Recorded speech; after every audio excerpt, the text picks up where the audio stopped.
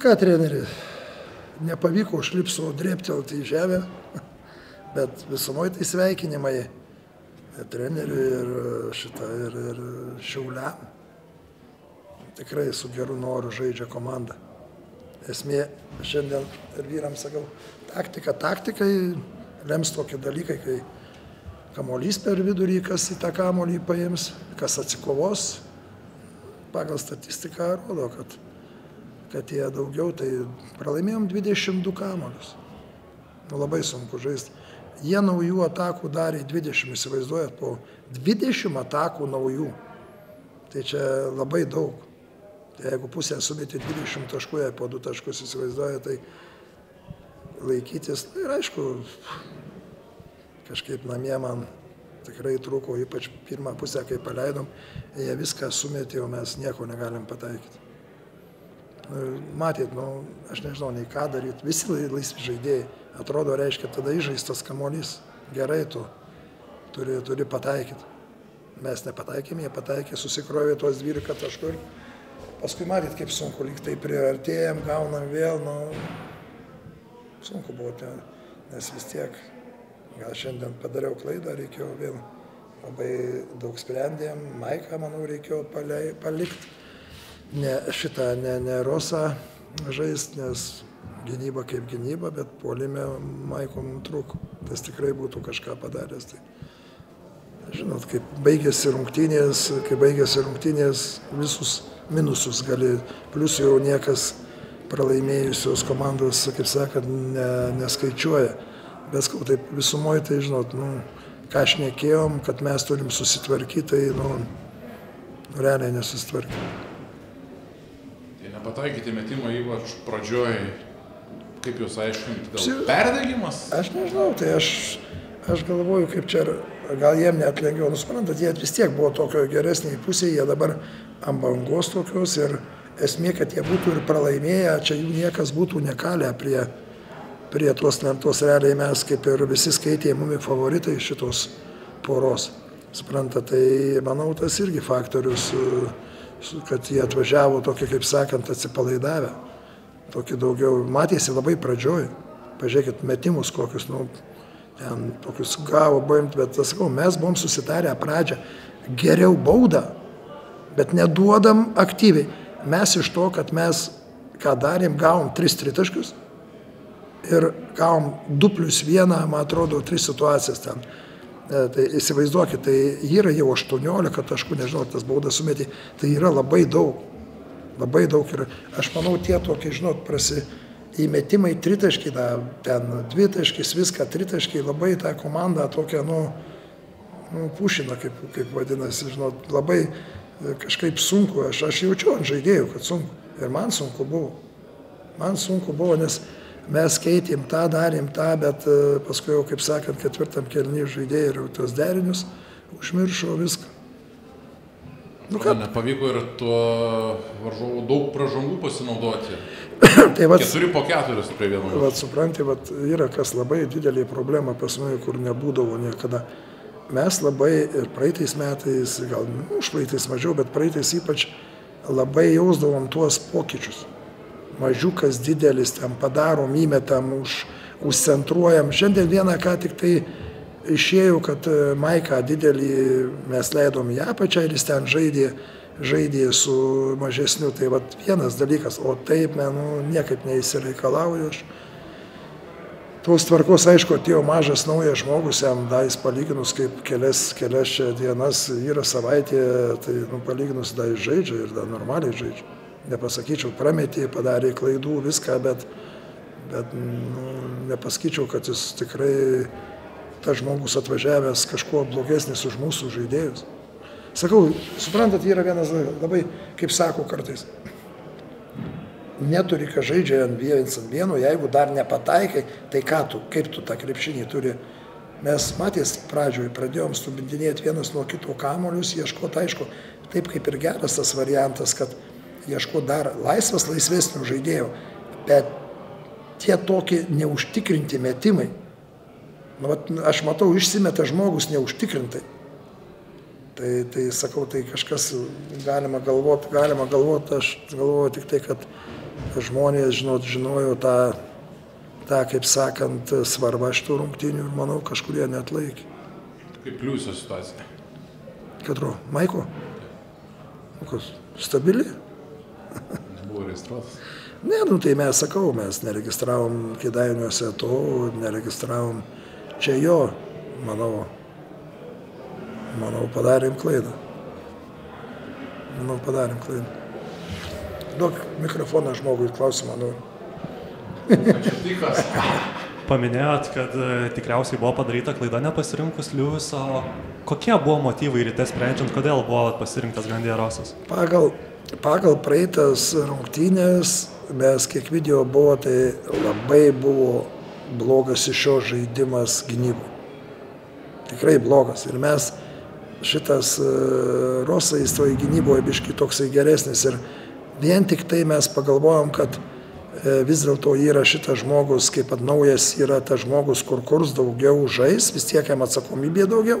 O Rosai išeis tada, kai, kai kaip sakant, kai, kai, bus, kai, bus, kai bus gynybinė, bet, ne, manau, išleidau, aš pasižiūrėjau, ne, nu, stojam iš vis. Stojam. Esmė, aš po to dalyko ir sakau, vyrai, sakau, tai yra toks dalykas, kad ateina tas žmogus, mes turim specialius kokius derinius, kur galima žaisti, kad nebūtinai tas žaidėjas kažką būtinai žaistų. Va čia ir yra, suprantat, va, kaip bebūtų. Nu, nėra ką čia atsiminėti, sakau, bet nu, aš tai manau, kad vis tiek man, man kažkaip tai vis tiek dar reikia kažkokio žaidėjo, manau. Nu ką padarysi, nu, čia nieko neprišnekėsi. Žinot, būna pergyveni labai čia, tuose rungtynėse aš net pavargau pergyventi. Ir va dabar, kai baigėsi tos rungtynės, aš toks, toks kaip kuminis, toks, suprantat, va, jaučiu, kad mes pralaimėjom, bet aš galvoju, kodėl, kaip, nesuprantu to dalyko, kaip namie, kaip namie, va, kaip sakant, žaidžiant, e, nėra tos agresijos, nėra to, e, to viso užsivedimo, kai ateina tiek žmonių palaikyti. Kažkas, kažką, bandysim kažką daryti, nu, žinot, čia verksi, verksi, kitaip nebus. Reikia dirbti, žiūrėti, kažką keisti. E. Dabar ta situacija su legionierių limitu tokia, taip ir planuojate iki sezono pabaigos ar kažkokie pokyčiai? Klausykit, davai ten neklausinėkit mane sunkių tų klausimų. Žiūrėsim, viskas ate- ateityje yra dar laiko, žiūrėsim kažkaip tai.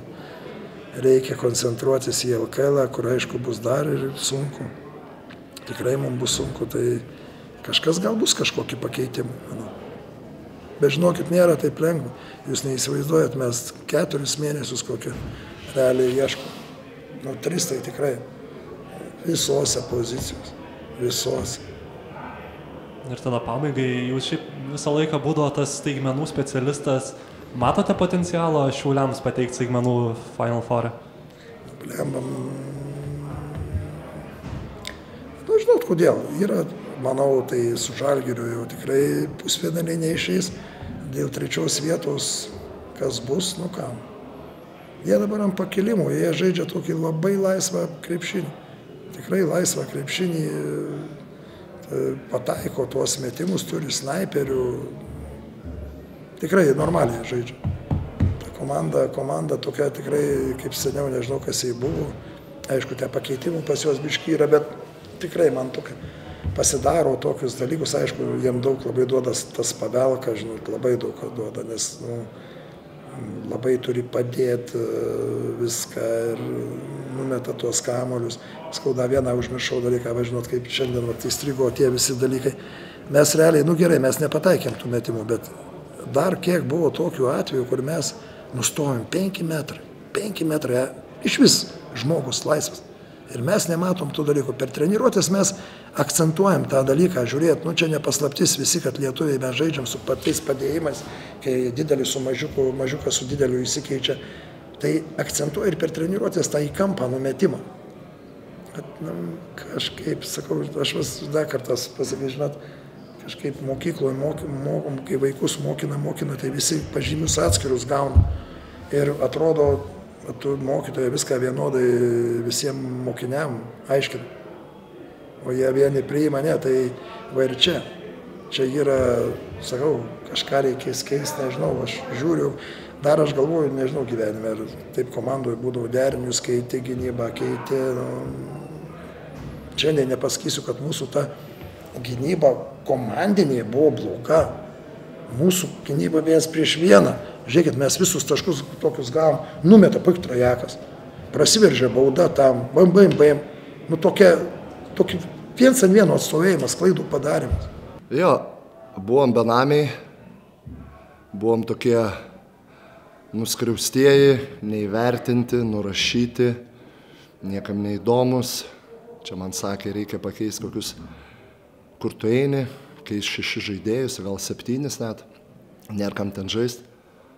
Pasirodo, yra kam ir žaisti. Biški pasidėliojom, įsiputėm savo į tas vietas ugnies, širdies ir, na, vyrukai, vyrukai netikėtini. Aš su jais, jeigu dabar koks rusas pradėtų batą minti mūsų sienas, tai eičiau su visais į, į priekinę liniją su jais. Ta prasme, čia pati, patikim, patikima Hebra. Ramu dėl jų už užnugario.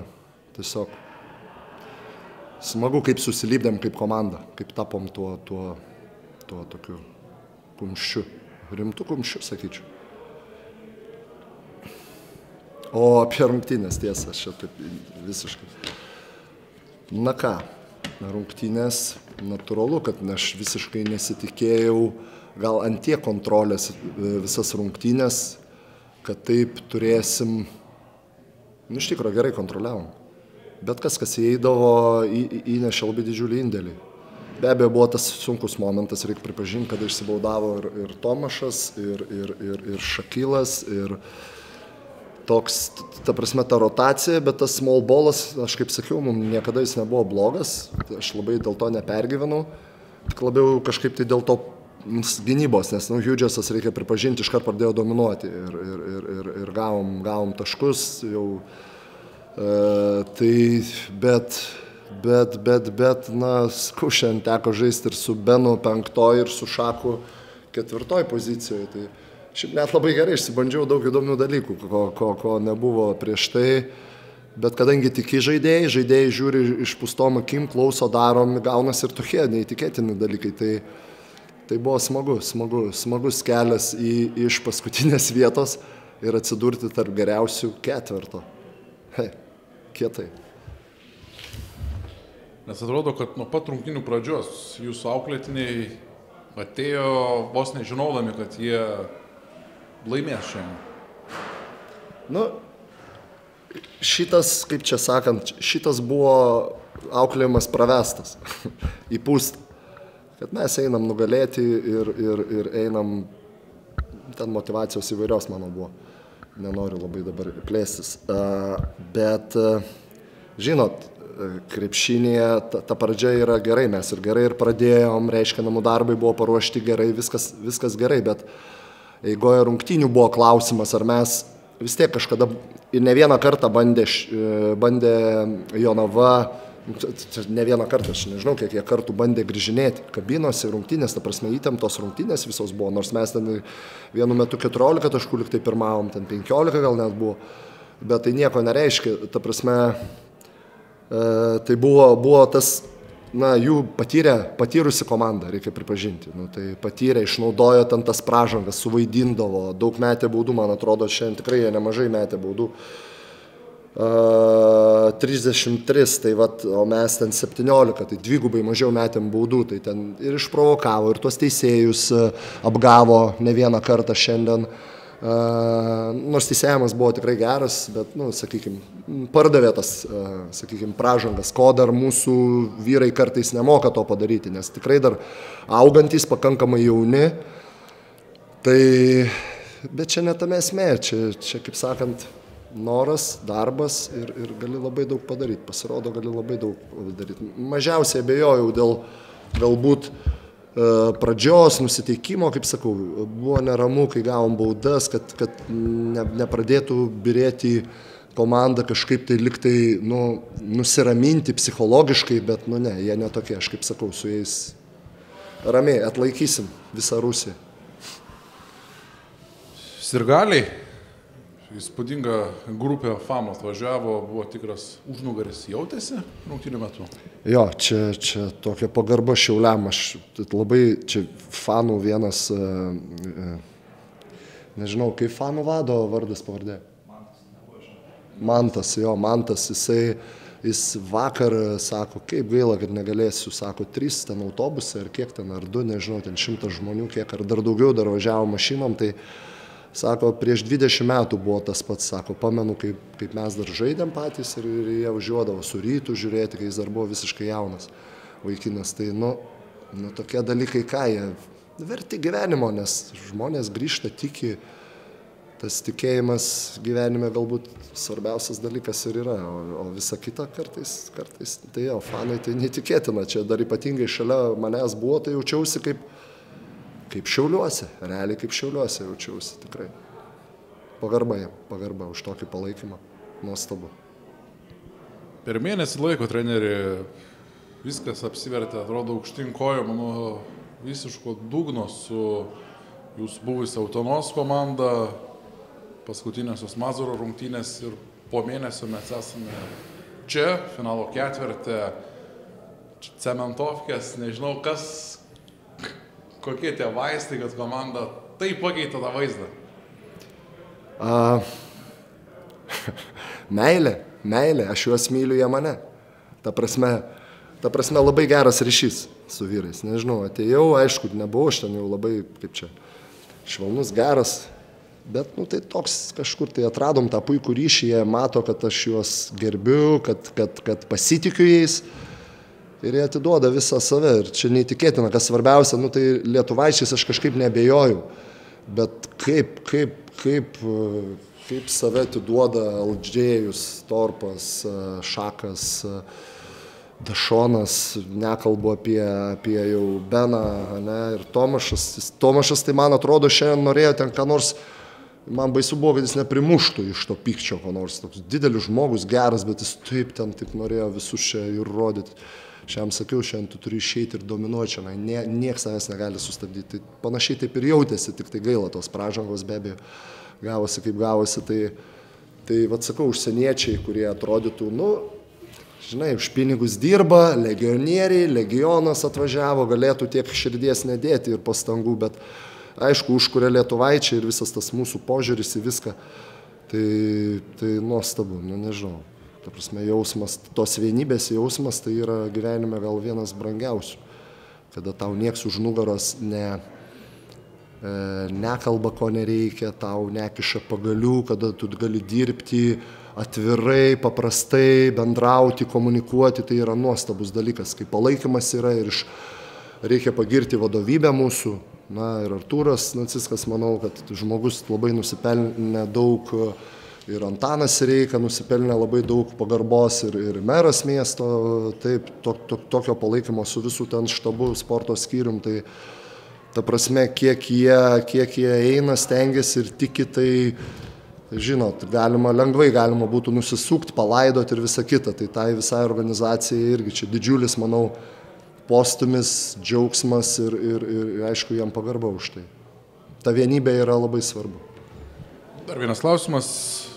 Rytoj laukia taip pat labai intriguojanti pora Lietkabelis su Klaipėdos Neptūnu. Po pirmųjų rungtynių Klaipėda turi plus 2. Ką galvojat, kaip tenais viskas baigsis ryt? Nu, jeigu reiktų šitą visą vandenį statyti, tai šiaip galėtų e, Neptūnas pasimti Lietkabelį iš tikro realiai turi pajėgas ir turi galimybės, nes, na, Lietkabelis dabar tokiai net ir emociniai, sakyčiau, dobelėje ir, ir, ir, ir ten nepadeda jokie stebuklai, jo lab traumų turi, nežinia, kas ten kiek žaisti. Aš, aš taip kažkaip tai būtų labai, labai įdomu kažkaip tai, kad mes favoritus, kad išeitų visai kitas ketvirtas, negu čia visi piešia. Kad šiaulių čia be variantų, čia jau Sibetas išeis į Jonavą, ten vėlgi kaip ir panevežys favoritai, tai norė, aš kažkaip nesu nei ten prieš panevežį, jo lab už panevežį galbūt, panevežį pats augau.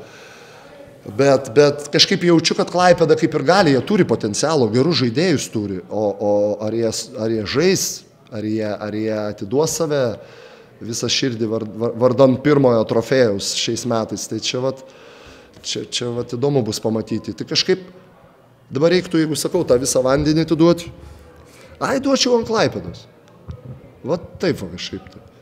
Nors galbūt jo, panevežys vis dėlto, na, taip, taip viskas tam pas juos kaip ir solidžiau, ir darbas, ir ten trenerio, ir, ir komandos yra daugiau galbūt, bet, bet kažkaip tai galvoju, ten čiups į, į tą.